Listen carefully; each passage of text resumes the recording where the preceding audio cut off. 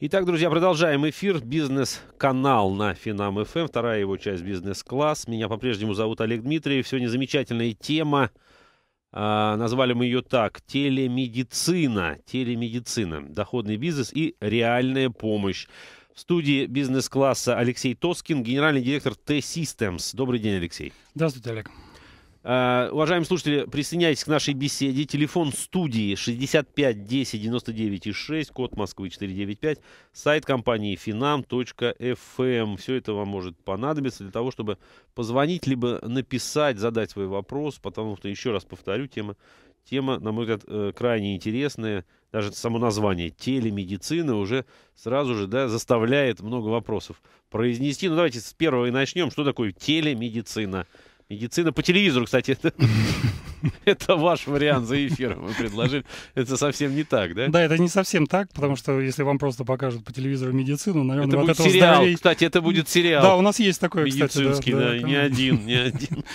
Вот, на самом деле, если говорить просто, то это возможность удаленного э, снятия неких параметров здоровья пациента, Мгм. дальше сбор этой информации, возможность ее анализа Мгм. и на основании этой самой информации определенная реакция. Мгм. Плюс э, возможность интерактивного общения с пациентом через телефон, через специальный экран. Э, врач может пообщаться, может дать какие-то рекомендации. Мгм. Вот если так в общем и целом, Мгм. это так. Мгм. А в- развивая эту тему, в принципе, мы решили начать с трех направлений. И сейчас, наверное, поймете почему. Так. Это кардиология, это диабет и это э, педиатрия, ну, ведение беременности.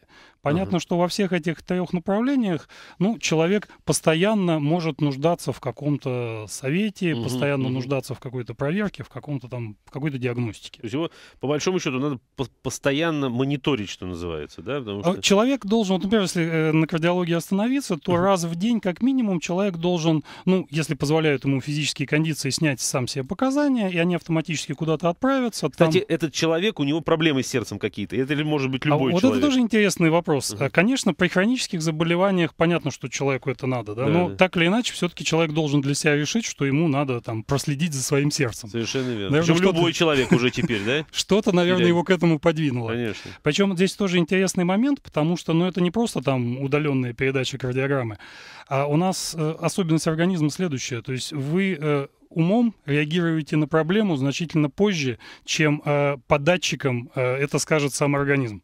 Соответственно, если э, вы делаете сами себе кардиограмму, данные пошли в центр, Алексей, э, вот Да. извините, я перебью, а вот по поводу умом. Вот когда что-то заболело, это я умом, Ну, это уже поздновато. умом понимаю. да, это, это это Ну, поздновато. а если говорить о сердце, да, если такое стандартное отношение, закололо сердце или там что-то защемило сердце, ну, это не только в результате каких-то любовных, да, так сказать, перипетий, а бывает это и физическое недомогание.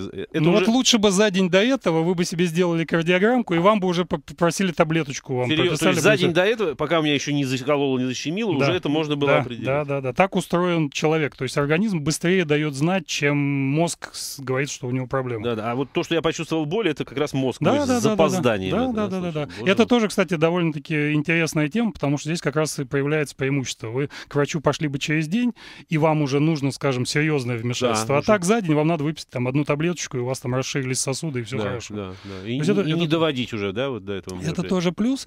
И даже если на статистику посмотреть, на самом деле, конечно, она грустная, но тем не менее, то есть 30% э, ухода людей в мир иной — это сердечно-сосудистые заболевания вообще в мире. Мгм. Ну, это, кстати, это, это э, последствия, ну, я не знаю, там, экологии, это, это, это болезнь нынешнего времени все же, ну, какого там, М, 10, 20, 50. Знаете, если посмотреть просто на статистику, а, ситуация становится лучше. Это означает, что а, уровень развития медицины опережает уровень там, ухудшения Мгм. экологии. Да, да, да, да. Особенно в Европе. Но здесь проблема в том, что, например, если сравнить нас с Европой, то в России этот показатель, ну, как минимум в два раза выше. Мгм. И он подавляющий, то есть порядка 60% смертей — это сердечно-сосудистые заболевания. Почему, собственно говоря, с этого там и решили начать? Мгм. Потому что тема важная, нужная. То есть при- причина, да, вот этого э, превалирующего, да, я бы сказал, так сказать, Мгм. Э, а, наступления, да, сердечно-сосудистых заболеваний, э, она, она, она, Ну, как же оно по чуть-чуть все складывается. Да-да-да, вы то есть- что-то скушали, вы где-то понервничали. и все это в конечном все итоге... накапливается, ну... Как бы мы... А, кстати, вы говорите, э, в Европе, ну, в частности, я думаю, что и если Штаты взять, наверняка тоже картина такая же. В Европе гораздо лучше. Гораздо лучше почему? Что там э, именно медицина э, Там профилактика лучше. впереди, да? Или там люди просто... Ну, там даже акцент в медицине смещен на профилактику, поэтому э, вещи, которых можно избежать, там с очень большой вероятностью избегаются. Мгм. А у нас на лечение, потому что, к сожалению, не было возможности продиагностировать и избежать.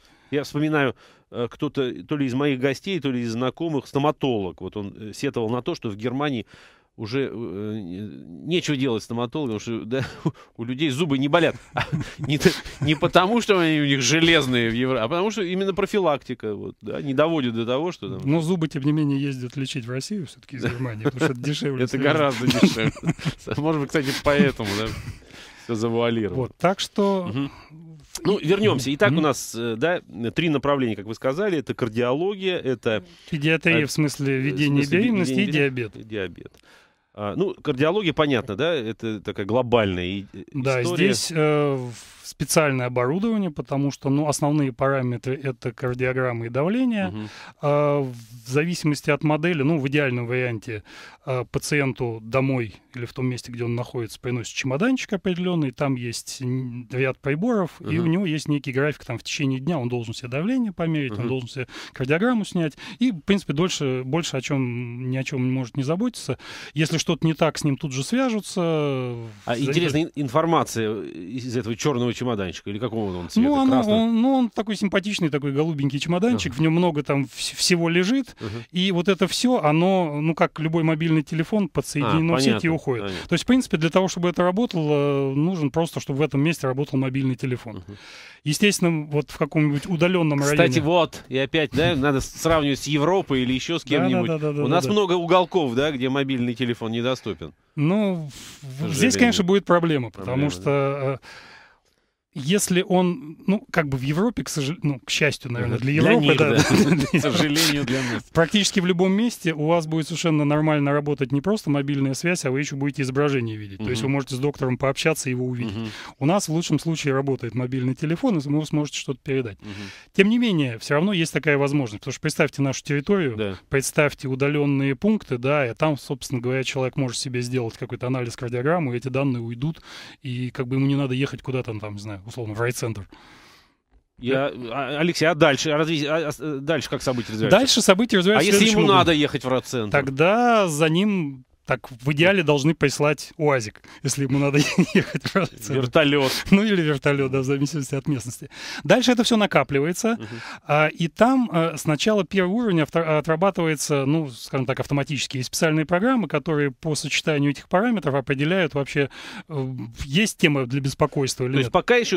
э, Человека всё- нет пока, Да, человека да. пока нет. То есть э, эксперта медицинского пока нет. Да, Данные доктора. собрали, накопили, проанализировали, и дальше он либо просто приходит и смотрит, эксперт без всякого сигнала, просто решил посмотреть, как там его пациент отрабатывает. ага. Либо система начинает попискивать и говорит, вот здесь что-то сочетание не очень, посмотрите. Мгм. И здесь там возникает второй плюс. При э, таком подходе, вот с, с этой самой телемедицины, один врач совершенно спокойно в день до 100 пациентов отработать может. Без разговоров, именно анализируя данные, потому Мгм. что система помогает. Мгм. Конечно, потом, если, не дай бог, случай серьезный и нужна госпитализация, ну, завязывается нормальный процесс. Но вот очень много усилий, которые тратят, чтобы человек решил, надо ему или нет идти в поликлинику, Да, да, да, дошел до поликлиники, Не, в ну очереди просто если посидел. представить, да, 100 человек в очереди, попробуй их Конечно, за, это, это за немножко другое, да. То здесь, конечно, очевидный плюс и как для самого человека, так и для там, государства, потому Мгм. что, опять же, вот Всемирная организация здравоохранения, она же постоянно какие-то мониторинги, анализы проводит. Вот она, например, посчитала, что в 2005 году Российская Федерация потеряла 11 миллиардов национального дохода от хронических болезней, причем не от всех, а именно сердечно-сосудистый и диабет. 11 миллиардов. За это деньги можно было серьезную систему построить. Конечно. И дальше они нам говорят, ребята, если у вас так все будет продолжаться, 300 миллиардов долларов в следующие 10 лет вы потеряете. Мгм. Мгм. Так что это реальные деньги. Нет, это да, это, это очень серьезно. Единственное, что они это говорят в рекомендательном, я бы сказал. Конечно, ну да. конечно. Они же не Нет, могут ясно, никак- что здесь есть определенные там степени погрешности, как это вычислялось все. Мгм. Но тем не менее, факт, Это да, факт это есть факт. цифры. Главное, чтобы задумались те, кому э, нужно да, в этой Да, ситуации да, да, задуматься. да, да. Алексей, спасибо. Мы прервемся, новости послушаем на Финам ФМ, потом продолжим. Итак, друзья, продолжаем эфир. Э, Бизнес-класс на Финам ФМ. Меня зовут Олег Дмитриев. Сегодня в студии Алексей Тоскин, генеральный директор T-Systems. Говорим мы на тему телемедицины, доходного бизнеса и, мне кажется, что не менее важно, а может даже и более важно, реальной помощи реальным людям, живым.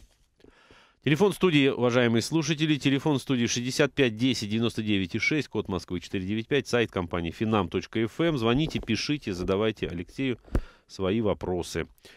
Итак, продолжим, э, значит, о э, Всемирной организации здравоохранения, о таких э, ну, достаточно неутешительных, неутешительных цифрах, да, мы заговорили. И как отреагировали на это те, кому должно? Да, реакция к счастью, есть. Если зайти на сайт официальной здравоохранения Росминздрав, там есть федеральная программа здравоохранения 13-18 годов, uh-huh. и там впрямую прямо написано, что нужно формировать систему медицинской помощи с использованием дистанционного мониторинга, создание информационного пространства телемедицины, uh-huh. предоставление возможности удаленного мониторинга здоровья граждан. Так, так что идея хорошая, идея правильная, потому что, как вы совершенно правильно сказали, ну, основной потребитель этой услуги и самая заинтересованная сущность, ну, наверное, не лицо, а сущность, угу. это государство. Конечно, потому что... Конечно.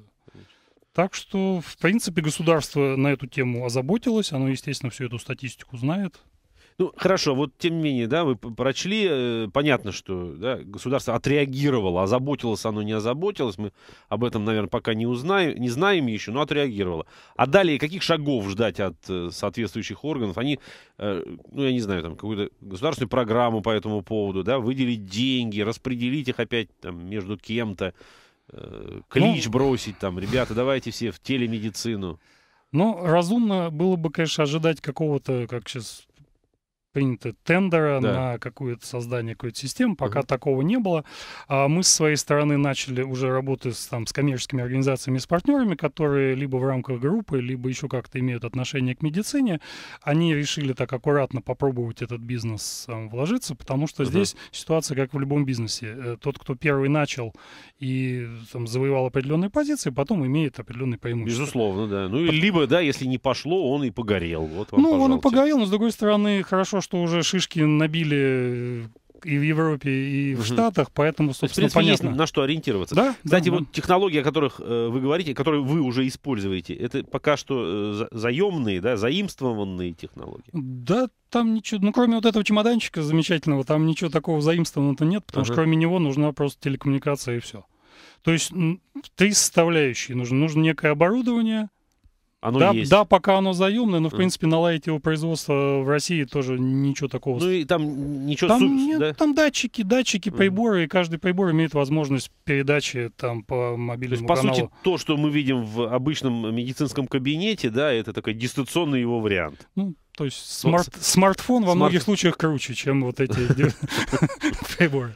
А следующая тема это, собственно, телекоммуникации, все, что связано с передачей данных. У нас технологии находятся на достаточно приемлемом уровне, чтобы обеспечивать. И третья составляющая это медицинская экспертиза, которая тоже там в некоторых То есть местах... это участие врачей непосредственно, да? Да, да. Я считаю, что все три составляющие у нас есть, На поэтому ни, да. ничего такого там завозить ниоткуда не надо. Uh-huh. Ясно, что начинать лучше на проверенных образцах с тем же оборудованием, а потом, если это действительно примет характер федеральной программы, наладить это все довольно, довольно-таки быстро. Ну, то есть я пытаюсь понять, да, вот для того, чтобы действительно в этом направлении пошло движение, да? От кого это зависит, да? Что должно произойти? Ну вот, э, Должны мы... быть энтузиасты, да, на рынке, вот... которые говорят, ребята, давайте я попробую. Сейчас первый. получилось так, что, как всегда, нужны энтузиасты. Ну, в России вообще нужен человек, да, нужна, нужен персонаж. Толкнет, да? который, да, да, Нужен герой, так герой, сказать. Вот, да, да. вот героев мы сейчас пытаемся найти, вроде бы мы там уже близки к их нахождению, uh-huh. чтобы действительно сделать пример, и с этим примером попробовать пойти в те же самые госструктуры, сказать, смотрите, вот смотрите, оно работает. Да, да. Более вот того, вот этот вот федеральный да. Да, Тут все написано. Показать, как бы, да, ребят. Да, мы, мы в соответствии с... Совершенно верно. Да, все как бы... Вот, я надеюсь, что это единственно правильный путь, потому что может быть некая растерянность у официальных там кругов, потому что ну что с этим, что-то большое и чистое, что с этим делать? Да. Если каждому дать смартфон, он уже будет, так сказать, в едином информационном пространстве, uh-huh. но не всегда он скажет, что у него болит. Поэтому здесь вопрос. Вот поэтому мы решили по этому пути развиваться. Я uh-huh. думаю, что будет довольно быстро прогрессировать. Ну, я не знаю, вы, наверное, помните, я тоже там сколько лет назад мобильный телефон был редкостью, да? Безусловно, да, да. да. Это же все настолько вот... Более того, он был э, не просто редкостью, он был приметом вожделения многих и предметом гордости единиц. Нам в немецкой компании выдали Nokia с выдвижной Да, антенной. меня это, была, была. это была вершина вообще. Да. Можно было ходить вот так вот, да, И вытянув- выдвигать просто, да. Вытянув руку и показывать. Видите, как я крут. а буквально за несколько лет. Так что я Да-да. думаю, что здесь будет довольно быстрый прогресс. Мгм. Поэтому Ну, сильно на это надеемся. Да, на это. И потом, ну, понятно, что да, это, это нужно, это просто нужно. Вот э, Да, это нужно, и тут э, аспект, э, как бы связанный с э, финансированием этого дела. Если мы посмотрим на Европу, про- ну, в большинстве случаев это все-таки государство. Может быть, это через медицинское страхование в Мгм. основном, через те налоги, которые люди платят. с, э, вот у нас это обязательно медицинское страхование, Мгм. пенсионные дела.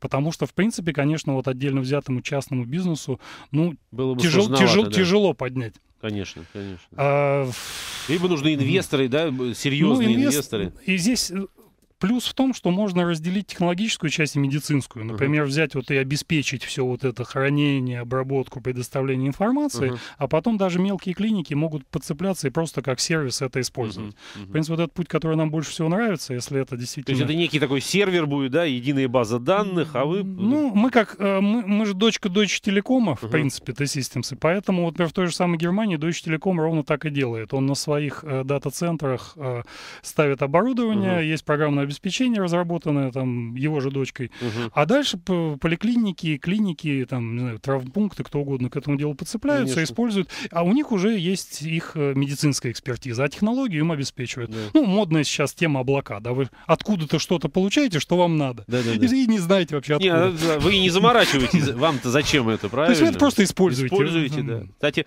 это будет э, платно для э, участников рынка, ну, если так можно Ну, выразить. зависит, опять же, там схем-то много разных. То есть государство в любом случае это может закрыть все, да, вот эту составляющую. И, почему бы и нет? должно даже наверняка. Я говорю, основной инвестор, если его так можно назвать, основной источник финансирования все-таки государство, потому государство. что вот те цифры, которые мы с вами обсуждали, они, собственно, Мгм. подвигают к этому. Сами, да, говорят сами за себя, согласен, согласен.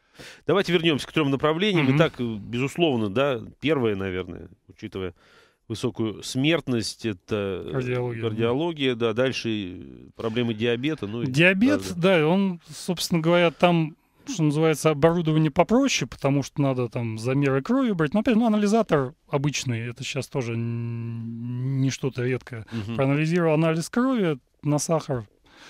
А, в- проще, но все равно там тоже, опять же, велика цена времени. То есть, чем быстрее вы это заметили, тем безболезнее для вас пройдет там либо прием препарата, либо... И опять же, если вы вдруг, не дай бог, что-то забыли принять, тоже э, автоматически вам об этом Напомнят, напомнят. Вам позвонят и скажут, что что же вы делаете, Да. у вас там повысился уровень. Да, да. Вот. Та- У диабетиков, может быть, есть периодичность какая-то, да? Есть, да, но они иногда это забывают, иногда там, не знаю, не дай бог, там препарат некачественный окажется, еще Мгм, что-то. И вот этим постоянным мониторингом все-таки в... А если человек еще там...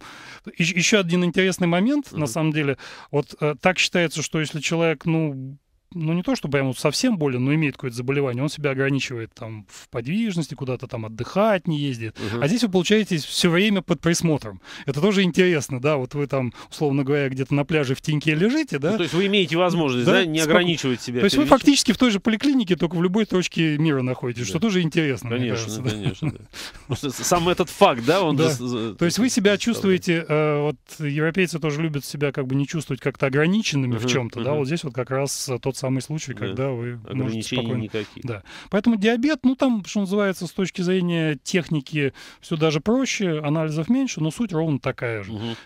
Предупреждение, просмотр уровня, надо или надо обращаться к врачу, там же можно э, приходить с определенной периодичностью для осмотра, можно не Мгм, приходить, да, мгм. в зависимости от того.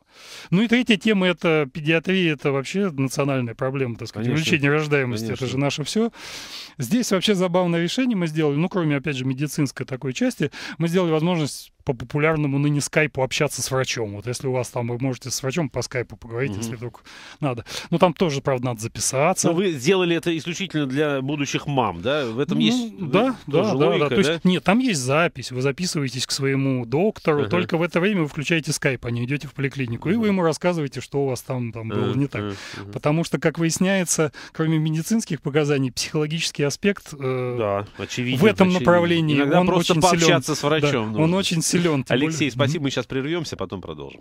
Итак, друзья мои, продолжим наш эфир. Сегодня темой бизнес-класса мы э, назвали телемедицину, доходный бизнес или реальная помощь.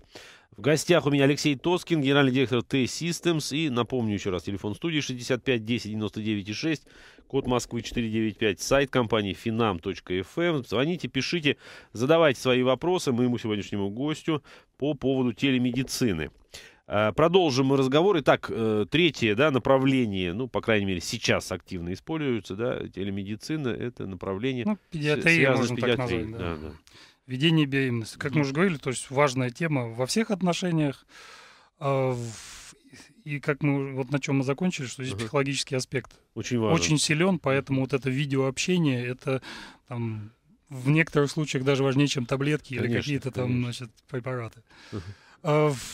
Но суть ровно та же самая. Человек, где бы он ни находился, э, должен регулярно выполнить некие действия, снять некие показатели, и они Дальше он об этом забывает. Если у него все хорошо, он об этом и не вспоминает. Uh-huh. А если вдруг что-то не так, э, с ним связываются, он получает там, не знаю, там, смс-ку, звонок, там, телевызов, uh-huh. что либо надо в госпиталь, либо к нему просто приезжает, не дай бог, там, скорая помощь, uh-huh. если что-то совсем uh-huh. плохо. Uh-huh. Вот по этой схеме работает. Его всегда. ведут, что называется. Да, да. А если начать, сам, э, ну, как бы, да, начать с, с первого шага, вот этот шаг какой? Я, являясь, не знаю, там, э, клиентом, не так вот, пациентом ну, какой-то пациент клиники, поликлиники, да, клиники, да, да, поликлиники. Прихожу туда, у меня есть карточка, и теперь мне еще помимо этой карточки дают возможность участвовать да. в этом проекте, да? Тут ну, чемоданчик этот выдают, либо там еще какую-то. Либо вы там страховку у вас медицинская, в ага. эту страховку входит это, либо вы там, не знаю, там, опять же, перенесли операцию или какое-то было. Ага. После этого вы из больницы выписываетесь, потому что одна из основных целей, ну, что занимать стационар, человеку некомфортно ага. и как бы экономически не очень хорошо. Если его нормализовали с точки зрения состояния, дальше главное его действительно мониторить, как ага. Минздрав нам и советует. Ага. Его, соответственно, снабжают соответствующим оборудованием, дают инструкцию, он спокойно идет домой, где там в кругу семьи, в комфортной обстановке, он находится. Угу. Это, во-первых, опять же, ну, все-таки лучше быть дома, чем в больнице. Ну, психологически, да. конечно, это поддерживает. Опять же, человек сам себя этим лечит. Угу. И, ну, и медицинское учреждение тоже, вот мы уже говорили о том, что один доктор там до 100 пациентов может э, мониторить. Э, плюс расширение количества пациентов, более эффективно используя стационары действительно под людей, которые там не могут без него обойтись. Uh-huh, uh-huh. Соответственно, это и экономическую сторону тоже так а, кстати, в стационаре э, такая технология не используется? Можно, но зачем? Ну, в принципе-то так по большому счету, да, только да. с меньшим расстоянием, когда человек лежит там весь в проводах. Это почти то же самое, да. только вместо того, чтобы летать по воздуху, оно там по проводам передается. Угу, угу. Так что здесь все. Ну, то есть, другими словами, да, любой человек может к этой программе подключиться, да, да, да. да для этого никаких не нужно дополнительных. Больше зависит от клиники, да, больше зависит от клиники, и более того, вот во всех там нормальных случаях он не платит что-то сам дополнительно, это либо входит вот. его медицинскую страховку, страховку да, да, да. да, либо ему клиника это предоставляет. То есть человек не должен, то что, ну, как, не оплат... нет денег на вашем абонентском счете, поэтому, так сказать... Абонент недоступен, Никакой кардиограммы Нет зоны доступа, страшные вещи, конечно, такие не дай бог. А, да, еще один момент. Mm-hmm. Каждый, каждый может, да? Э, зависит от клиники, от, от клиники. клиники. Зависит да? от клиники и от условий страховки. По mm-hmm. большому счету, действительно, чем ши... Тут же эффект массовости он работает на 100%. Чем угу. больше людей в это вовлечены, да, тем, тем деш... лучше клиники, тем дешевле для дешевле клиники. Круг это, да. Потому что там все показатели коммерческие рассчитываются от числа пациентов, в конце угу. концов. Угу. Мы прикидывали, ну, конечно, идеальный вариант, там, порядка 10 тысяч пациентов, за два года можно говорить уже о каких-то финансовых да, угу. возвратах. Естественно, что лучше начинать с чего-нибудь большого, не знаю, там, клиника РЖД или там Газпром большая медицинская сеть. Ну, это было бы, наверное, идеально, потому что они потом могли предоставлять сервис не только технологический, но и медицинский тоже. А, кстати, опять возвращаясь, да, к нашему предыдущему mm-hmm. разговору, вы говорите, значит, государство принимает в этом участие, ну, там, каким-то тендером, может быть, да, mm-hmm. так сказать, а, предлагает, да, бизнесменам, собственно, поучаствовать в этом деле. Вот э, выбор, э, выбор ну, партнера, да, государственная это поликлиника, либо частная поликлиника, это от кого будет зависеть?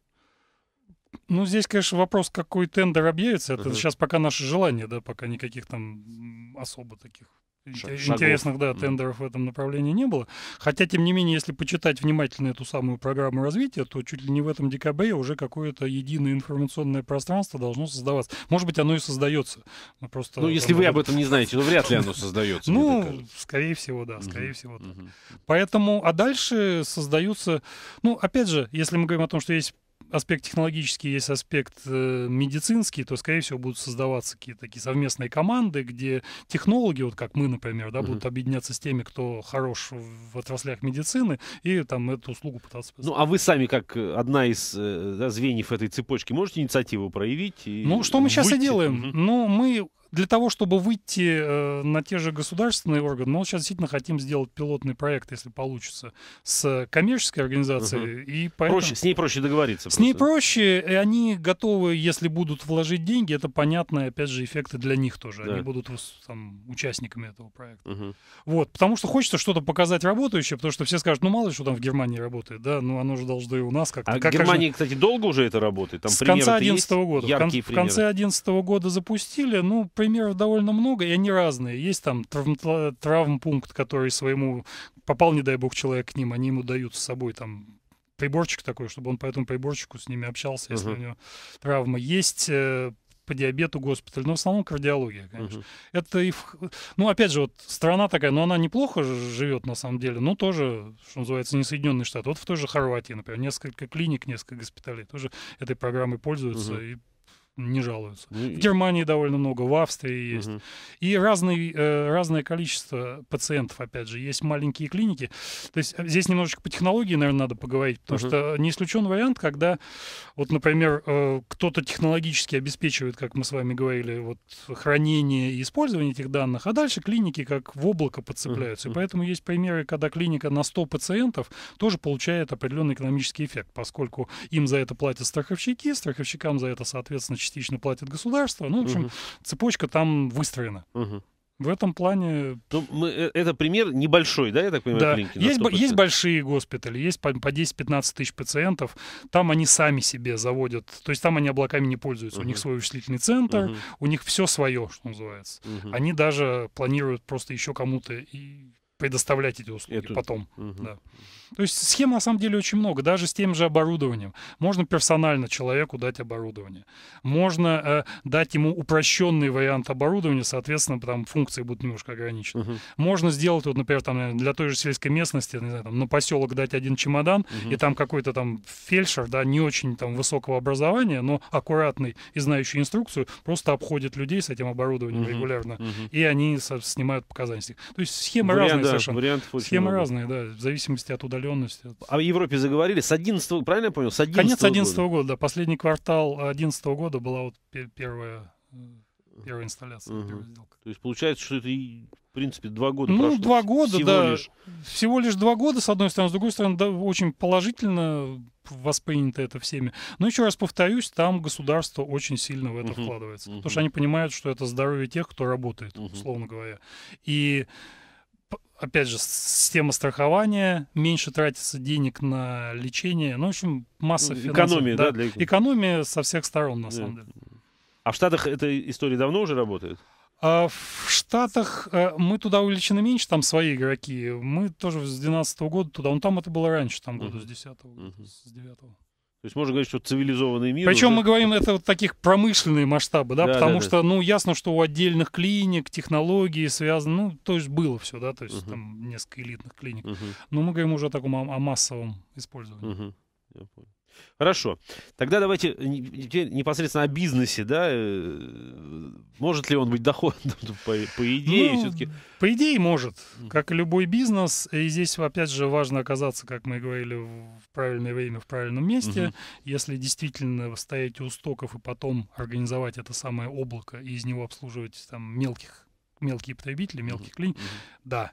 Мы считали, еще раз повторюсь, порядка двух лет на объеме там 10, около 10 тысяч пациентов э, при сценарии максимальной выдачи оборудования, ну, mm-hmm. это может окупиться. Но вещь действительно не дешевая. То есть мы сразу можем говорить, что там мы говорим о миллионах евро. Mm-hmm.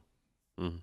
То есть проект на 10 А, кстати, вот 10 тысяч э, пациентов, это, это много или мало? Ну, с точки зрения вот... э, Ну, вы знаете, это много, потому что вот если взять, ну, немножко разная структура у нас, Мгм. конечно, э, вот э, учреждений здравоохранения, но в той же Европе есть явно большие клиники, но большая клиника это от 5 до 15 тысяч э, Мгм. пациентов, да. Мгм. а есть мелкие 100 пациентов. Что называется, от профиля зависит. Они, опять же, это там у нас в поликлинике, когда тебе один врач все вылечит Да, сразу. да. А там они все-таки не имеют такого широкого образования и лечат свое каждый. Вот видите, явный минус мы нашли сейчас да, в европейской медицине. Так, э, значит, о российских условиях, если можно, да, еще, еще давайте два слова скажем. Значит, очевидно, проблемы какие? Я, естественно, аб- абсолютно с вами целиком согласен, то у нас не проблемы наверняка, э, ну, хотелось бы это верить, да, э, очевидно, проблемы в профессионализме медиков, да, такой быть не может. Ну, скажем так, я Ну, думаю, что наверное. проблема-то на самом деле в концентрации профессиональных медиков. А здесь вопрос в том не то, что они не профессиональные, а вопрос, сколько людей туда идут, сколько готовятся. Ну, короче говоря, Туда имеется в виду куда? учиться на медиков. А, ага, ага. Поэтому здесь, собственно, если медик все-таки выучился, потому что уровень образования, ну, опять же, не очень большой специалист в этом, но по всему тем отзывам, которые я слышал, там образование как таковое, медицинское, оно очень даже приличное. Мгм. Но вопрос в том, сколько выпускается тех, и дальше распределенная география, сколько один может охватить физически. Ну вот смотрите, опять мы упираемся в географию. Я э, еще Мгм. раз хотел бы повторить, да, то э, сомневаться в квалификации наших э, э, медицинских э, сотрудников мы не будем, да, Не- потому что образование не на достойном уровне, и, соответственно, профессионалов здесь у нас предостаточно. Далее а, тоже, э, наверное, да, ставить под э, вопрос э, технологии, наверное, тоже не приходится, потому что ничего там, да, Ну, сверх... опять же, та же самая, как вы эти география, да, потому что Вот, вот, вот. Технология это она в некоторых местах, то есть она есть везде, но Да. работает не везде. Мгм. Там же вот был федеральный проект, что хотя бы вдоль всех трасс федеральных обеспечить мобильную связь для Мгм. того, чтобы оперативно реагировать там на аварийные ситуации. Мгм. Мгм. Это говорит само за себя. То есть есть места, где нету мобильной связи. И в конечном итоге, да, я опять к чему, Мгм. к чему веду, что, собственно, ве- весь этот набор, да, аргументов, он присутствует. Единственный риск, который в, э, в российской действительности может э, да, Мгм. нас сопровождать, это как раз вот географические особенности той Ну, или иной местности. Наши плюсы, они наши же и минусы. Они да. наши же и местность, да.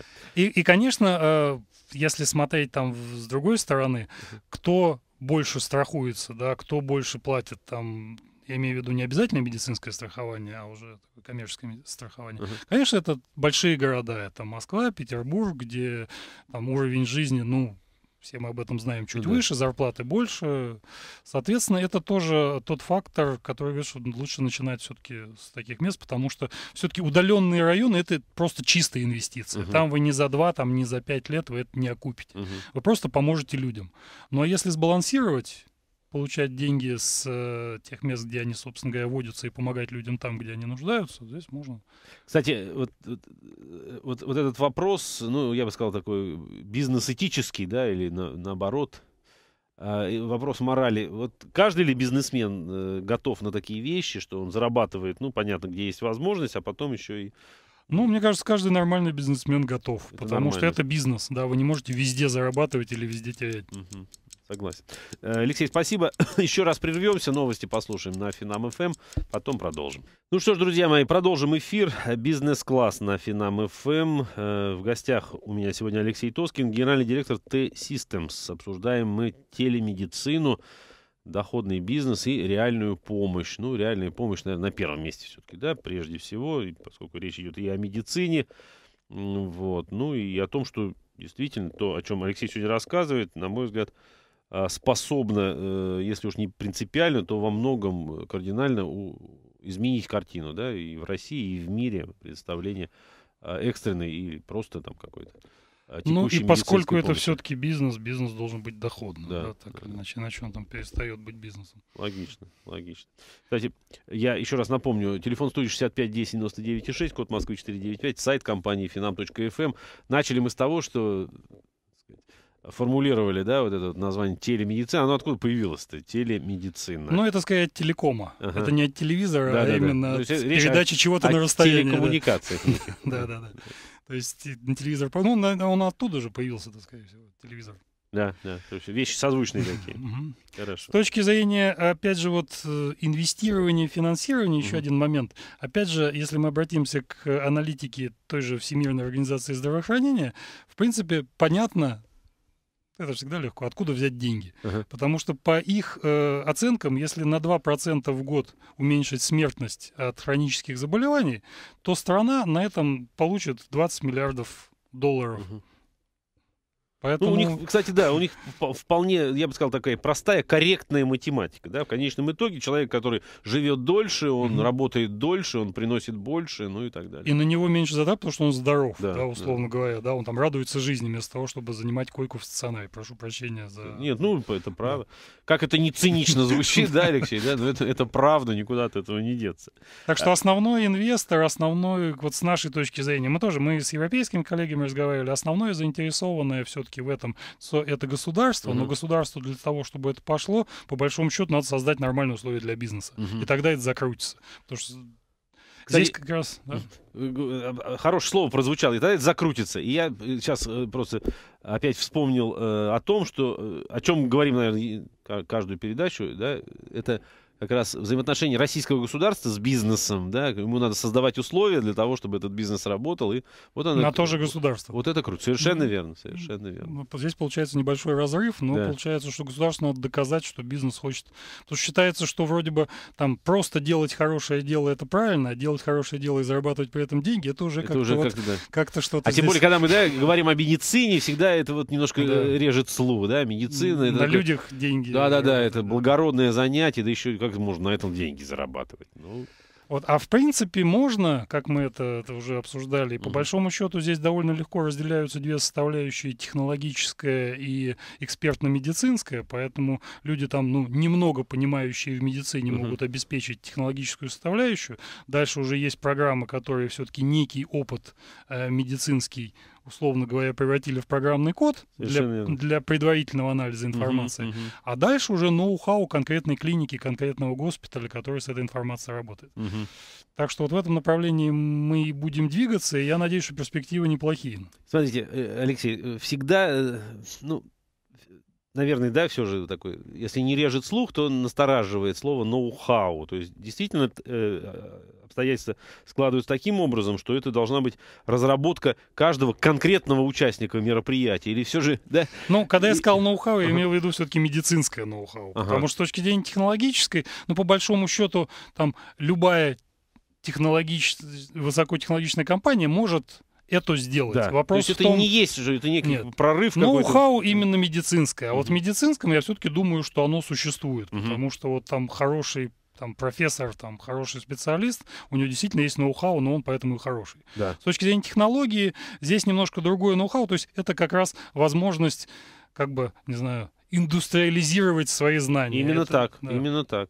Более того, индустриализировать, поставить на поток, если хотите, в хорошем смысле слова, да, чтобы это ну. не было в каждом конкретном э, примере не, некой, неким достижением, да, ну, вот, э, ну, исключительным достижением. Сейчас а это... там модно про советские времена говорить. На uh-huh. самом деле же, помните, мы же делали много интересных, хороших вещей, но все они были уникальны. Uh-huh. И как только это надо было поставить на массовое производство, uh-huh. довольно часто возникали Совершенно проблемы. Верно. Так что... То есть об уникальности мы все время повторяли, да, но, к сожалению, эту уникальность видели а, э, очень ограниченное да, количество наших сограждан.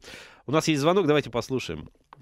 Э, Алексей, Алексей, день добрый, вы в эфире, говорите, пожалуйста. День, День добрый. Э, я бы хотел э, вашего гостя э, сориентировать вот на какой момент. Mm-hmm. Как он смотрит, неоднократно прозвучала информация о том, что государственные деньги, государственные деньги. А заинтересовано ли государство вкладывать деньги в технологию, которая даст увеличение продолжительности жизни и тем самым удаст увеличение продолжительности пенсионного обеспечения, вот. да, да, да. пенсии, продолжительность жизни, Хороший... да, и тем самым увеличит пенсионный фонд. Там, э, спасибо, Алексей. Хороший вопрос. Да. И тем самым, да, расходы государства, да, на этого человека, да. которого мы помимо... вылечили, возрастут. Да, вы, да, да, да. Алексей, помимо... вы, вы циник, я вам хочу сказать. Да, мы же как-то все цинично. Ну, слушаю вашу программу, от кого научился. Спасибо огромное. Спасибо вам за вопрос. Спасибо за вопрос. Да, все циничнее и циничнее. Ну, так уж если совсем абстрактно, вы правы. Но с точки зрения того самого там пациента, ну, наверное, все-таки ну, если серьезно говорить, конечно, да. Смысл, но с другой стороны, увеличение пенсионного возраста не дай бог, конечно, об этом сказать в прямом эфире, не но надо, кто знает, конечно. если вдруг люди будут дольше работать. Uh-huh. Не, вопрос э, жизненный, но вот, к сожалению, на него ответ тоже жизненный. Ну да, здесь сложно наверняка, да, некую экономическую э, целесообразность просчитать, потому что, с одной стороны, опять, если быть, э, ну или э, рассказ, э, да, обсуждать это э, в русле цини, цинизма некого, да, с одной стороны, человек, он как бы имеет э, трудоспособный возраст свой, да, и он зарабатывает некие, вот цифры, э, которые вам были сегодня озвучены, да, ВОЗ, он же не с потолка это берет, он зарабатывает некую... Ну, давайте мы на это посмотрим немножко ресурсы. с другого ракурса. Сейчас mm. же у нас все люди моложе 67 -го года работают там так или иначе с накопительной пенсией, да? Человек уже часть пенсии, там, наверное, дальше это как-то будет меняться. Mm-hmm. То есть он чем лучше работает, тем он там, условно говоря, наверное, когда-то будет себе больше на пенсию зарабатывать. Ну, по крайней мере, на это надеюсь. Соответственно, конечно. если он это делает, что называется, с удовольствием и здоровый, да, почему бы ему потом, собственно говоря, плода плодами своего труда подольше не попользоваться. То есть надо позитив, я думаю, искать. Но, к сожалению, да, есть такой. Наверное, аспект. да. Еще один есть звонок, давайте послушаем. А, Игорь, добрый день, вы в эфире говорите, пожалуйста. Добрый день. У меня такой вопросик по поводу дальнейшего развития той системы, которую вот сейчас обсуждается. Угу. То есть а если, условно говоря, можно дома сделать который приборчик, который будет измерять там какие-то твои необходимые показатели, то ведь можно же написать какую-то там программку, которая будет в компьютере. Uh-huh. И, условно говоря, у вас будет лично доктор дома. Так. Вы наверняка э, в теме, Игорь, да? Вы занимаетесь программированием? Ну, раньше, сейчас уже от темы отошел. Угу, я понял. Хорошо, спасибо за вопрос. Спасибо за вопрос. Ну, ну да, оно, оно ровно так и происходит. Угу. Программка действительно написана, потому что сейчас, э, как я говорил, речь идет не только о том, чтобы собрать информацию, ее еще предварительно проанализировать и выявить какие-то, вот, не знаю, алгоритмизуемые э, неправильные сочетания да, ну, параметров. Ну, по сути, это и есть тот да, самый это тот самый доктора, доктор, только да. он сидит не дома, а в дата-центре где-то. Совершенно да. верно. И он не живой, да, как вы, Да, вы, Игорь, абсолютно правы. В этом-то, собственно, и идея. То есть как можно больше объем работы и времени попытаться все-таки формализовать. А формализовать, значит, запрограммировать. Угу. Ну, и это... Да, да, это ровно то, что Это работает, в этом направлении да, есть да, работа. Да, да, да, совершенно верно подмечено. И у меня вопрос, э, опять-таки, о том, э, о чем мы говорили уже. Алексей, смотрите, мы э, сегодня три направления, и вы объяснили, по какой причине именно они наиболее актуальны сейчас. Обсуждали, да, это кардиология, это... Педиатрия а, и диабет. Диабет, да, и педиатрия. А расширить этот перечень, ну, со временем, с каким-то, да, есть возможность и есть ли необходимость? А вопрос в том, действительно, насколько это приживется, потому что если опять посмотреть на ту, Европу, на ту же самую Европу, там больше, там практически все хронические заболевания, там посттравматические периоды, то есть есть, ну, все зависит от того, пойдет ли тема или нет. Если uh-huh. это действительно будет удобно, доступно, конечно, расширяется. Там uh-huh. порядка 12-15 направлений. А есть вообще заболевания, ну, на вскидку, если вы вспомните, или, или представите, которые невозможно таким образом мониторить. То есть, э, что, что называется, э, новые технологии не придут на выручку нам в этом деле. Сложно сказать. Мне просто сразу в голову приходит уровень заболевания. Потому uh-huh. что на определенном уровне тебе действительно надо лежать Уже... обложенным этими да, датчиками. Да, да. Да. А так получается, что, наверное, нет, потому что так или иначе любое заболевание это кровь, давление и uh-huh. кислород в организме, uh-huh. да, так или иначе. Или там состояние там, зрительных органов, например. И все это, все это можно, можно мониторить. Да. Поэтому довольно сложно. Слух тот же самый тоже можно мониторить. Uh-huh. Я знаю, что э, в Германии у них тоже тема развивается, когда пожилым людям делают датчики, и идет сигнал, если человек упал. То есть, если резкое перемещение пришло, uh-huh. то сразу идет. То есть настолько разнообразна возможность применения технологий, что я вот так угу. сходу не скажу, где бы это ни помогало. Я понял. Ну хорошо, что же, это достаточно оптимистично звучит. Осталось у нас немножко времени. А, ну, если не помечтаем, то давайте все же представим, да, как будет в России развиваться при, а, при, при что называется, при э, позитивном взгляде, да, со стороны того, о котором мы сегодня говорили, со стороны государства прежде всего, да, со стороны медицинского сообщества в том числе, может быть, да, при, со стороны того, кого нельзя называть. Да, да, Значит, э, но думаю, что оно все-таки должно развиваться. Видится, что будут некие региональные центры из-за той же самой нашей географии, угу. в которых есть и достаточно вычислительные мощности, и достаточно квалифицированных специалистов медицинских. Дальше это, вот как написано в программе здравоохранения, может спокойно совершенно объединяться в единое информационное пространство. А, опять же, идея в том, что если у вас есть, условно говоря, там, знаю, областной уровень, попала какая-то информация, там доктор не может что-то, так сказать, э, да. ну, в чем-то сомневается, Решить. он может идти дальше, то есть эти уровни, и дойти там до какого-то там консилиума, не знаю, там, угу. два профессора в России это знают. Это тоже можно выстраивать, эту пирамиду, да. и опять же оптимизируется работа и этих э, высококвалифицированных товарищей, потому что к ним обращаются только, когда они снят работают. Угу. Угу. С точки зрения приборов, сами знаете, там можно мерить там все больше и больше. Совершенно да, здесь не Опять же, связь развивается, это означает, что все больше и больше мест будет, где можно этим пользоваться. Так что так что все, все в наших руках. Все спасибо, будет хорошо, спасибо да. Алексей. Алексей Тоскин, генеральный директор T-System, был сегодня в бизнес-классе. Спасибо, Алексей. Спасибо, Олег. Спасибо, спасибо за, да, за внимание. Успехов в бизнесе. До свидания.